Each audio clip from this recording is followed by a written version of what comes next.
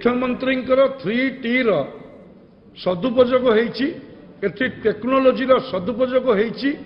ଯଦି ଜଣେ ଯୁବକ କିଏ ଏ କଥାକୁ କରିଛି ଆମେ ତାକୁ ସମର୍ଥନ କରୁଛୁ ଆମେ ତାକୁ ସାଧୁବାଦ ଦେଉଛୁ ଆଜିକାଲି ସୋସିଆଲ ମିଡିଆରେ ଏ ରାଜ୍ୟର ବିଭିନ୍ନ ଅଞ୍ଚଳର ଯଦି ଅସୁବିଧା ସୁବିଧା ଅଛି ତାର ସେ ଟେକ୍ନୋଲୋଜିର ସଦ୍ବ୍ୟବହାର କରି ସରକାରଙ୍କ ଦୃଷ୍ଟିକୁ ଆଣିଥିଲା।